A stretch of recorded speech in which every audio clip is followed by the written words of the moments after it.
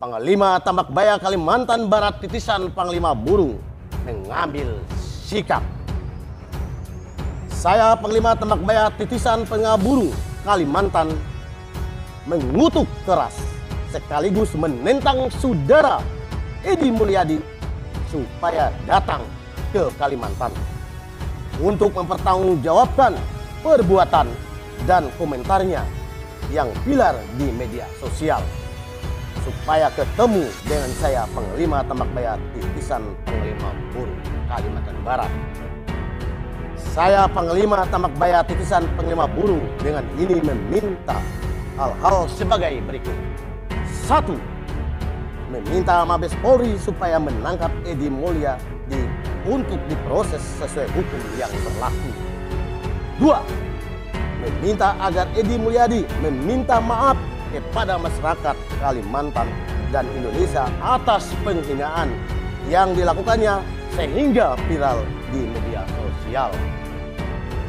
Tiga, meminta agar Edi Mulyadi disangsi hukum adat sesuai hukum adat yang berlaku di Kalimantan.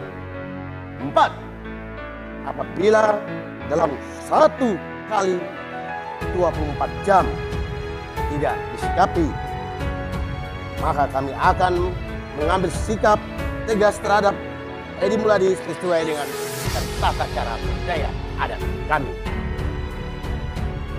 Lima, saya Panglima Tembak Baya, titisan Panglima Burung menghimbau kepada khususnya masyarakat adat Dayak di Kalimantan supaya tetap menjaga keamanan dan ketertiban. 6. Mendukung pemerintah Republik Indonesia di bawah kepemimpinan Jokowi Mahruf Amin dalam upaya mendirikan ibu kota negara baru di Kalimantan dengan nama Nusantara. Demikian pernyataan sikap ini dari saya Panglima Tembak Baya Titisan Panglima Burung. Sekian dan terima kasih. Kalimantan 23 Januari 2022. Hormat saya Panglima Tembak Baya. Tembusan kepada yang terhormat. Satu, Presiden dan Wakil Presiden Republik Indonesia. Dua, kepada yang terhormat Menteri Sekretaris Negara Republik Indonesia. Tiga, kepada yang terhormat Panglima Tentara Nasional Republik Indonesia. Empat, kepada yang terhormat Kepala Polisian Republik Indonesia, Kapolri. Lima, kepada yang terhormat Menteri Hukum dan HAM Republik Indonesia. Enam, kepada yang terhormat Gubernur Kalimantan Barat, Kalimantan Tengah, Kalimantan Selatan, Kalimantan Timur, dan Kalimantan Utara.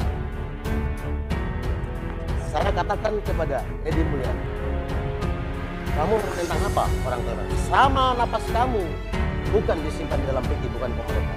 Sama dengan napas saya. Kamu mau ini, saya siap. Kamu mau ini, saya siap. Kamu mau ini, Edi Mulyadi, saya siap. Ini gaya Kalimantan. Kamu mau ini, saya siap. Kamu siap berkompetisi dengan saya.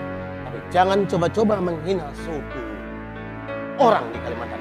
Sebab di Kalimantan itu bukan hanya suku Dayak umumnya, tetapi banyak suku-suku lain yang sini. Kenapa kamu harus menghina Kalimantan? Karena kalau kamu tidak setuju atas ibu kota negara di Kalimantan Timur, silahkan kamu intervensi pemerintah. Karena orang Kalimantan tidak pernah meminta ibu kota pindah. Karena orang Daya tidak pernah meminta ibu kota pindah. Tapi jangan coba-coba menghina kami. Karena kami sama dengan kamu diciptakan oleh Tuhan. Bukan diciptakan monyet yang apa yang kamu katakan. Bukan diciptakan oleh Kuntilanak dan Gondorowo. Kecuali kamu. Itu pesan saya. Kamu berhadapan dengan kami orang Daya. Saya Kalimantan. Ini tegasan saya. thank you